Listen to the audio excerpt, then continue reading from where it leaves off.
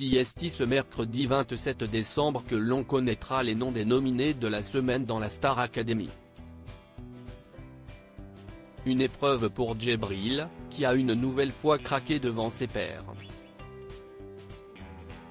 Sauf nouvelle surprise, il devrait y avoir une nouvelle élimination à la veille du dernier jour de l'année, samedi 30 décembre, durant le prochain prime de Star Academy. En attendant que la lumière soit faite sur le sujet, le sujet avait été évacué en raison de Noël, permettant au directeur de la promotion 2023, Michael Goldman, de faire un cadeau aux élèves, certains des candidats paniquent déjà à l'idée d'être mis sur la sellette. Il faut dire que malgré la période des fêtes plus propice au relâchement, le stress n'a pas pour autant quitté l'esprit de certains, dont Djebril, qui n'a pas réussi à retenir ses larmes. Djebril fait part de son malaise alors que les nominations se rapprochent à la Star Academy il n'est pas à son coup d'essai. Le jeune homme a, depuis le tout début de l'aventure, bien du mal à s'intégrer au grand Barnum Quest la Star Academy.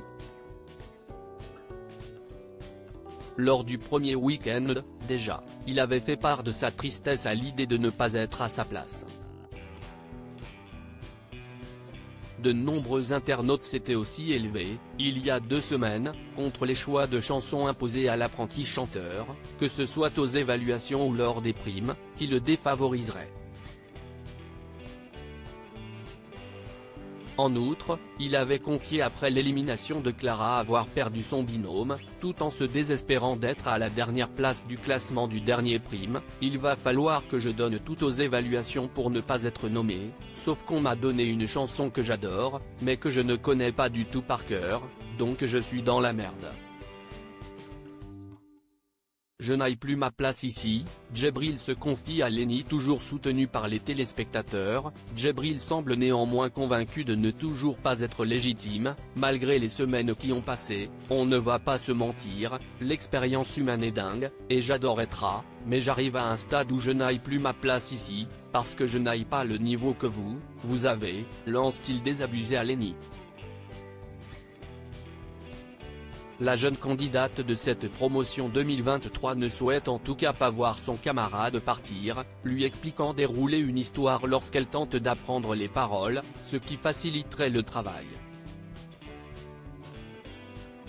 J'en ai marre d'être défaitiste alors que je ne suis pas comme ça dans la vie, je n'y arrive pas, je suis un électron libre, j'aime faire les choses à ma manière, lui a répondu Djebril, qui ne se fait visiblement guère d'illusions sur son destin dans l'aventure.